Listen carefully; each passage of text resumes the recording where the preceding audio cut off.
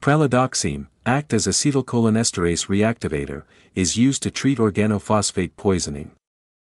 It is administered intravenously with an initial dose of 1 to 2 grams over 15 to 30 minutes, followed by a continuous infusion of 0.5 to 1 gram per hour.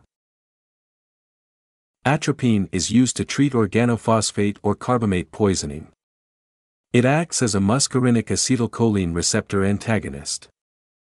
The initial dose is 2 to 5 mg IV and may be repeated every 5 to 10 minutes if necessary. Flumazenil is a benzodiazepine receptor antagonist indicated for benzodiazepine overdose. It is given in a dose of 0.2 mg IV and may be repeated every minute up to a maximum total dose of 3 mg. Naloxone is an opioid receptor antagonist used to reverse the effects of opioid overdose, including respiratory depression and sedation. It is administered in doses of 0.4 to 2 mg intranasal, intramuscular, or intravenous depending on the situation. It can be repeated every 2 to 3 minutes if needed. Physostigmine is an antidote for anticholinergic poisoning.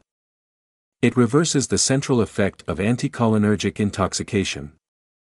The initial dose is 0.5 to 2 mg IV over 5 minutes and may be repeated every 20 to 30 minutes if required. Glucagon is indicated for beta blocker overdose. Glucagon activates adenylate cyclase, causing an increase in cyclic AMP. The initial dose is 1 to 5 mg IV followed by 2 to 5 mg per hour infusion as needed.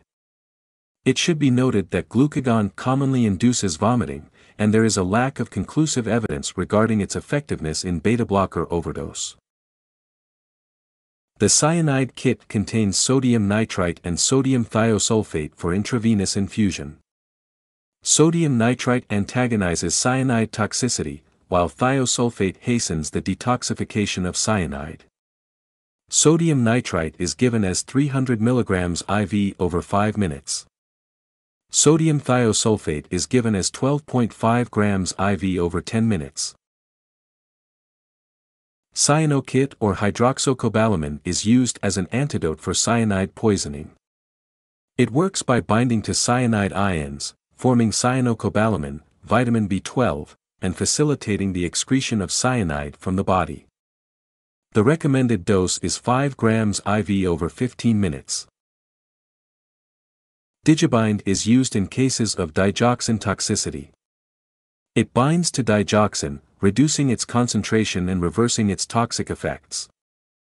Acute digoxin overdose with cardiac arrest, life-threatening cardiac dysrhythmia, ingested dose greater than 10 mg, serum digoxin level greater than 12 nanograms per milliliter, or serum potassium greater than 5.5 millimol per liter. The recommended dose is usually 10 to 20 vials IV. Fomepizole is indicated for methanol or ethylene glycol poisoning. Fomepizole inhibits the enzymes involved in the metabolism of methanol and ethylene glycol, preventing the formation of toxic byproducts.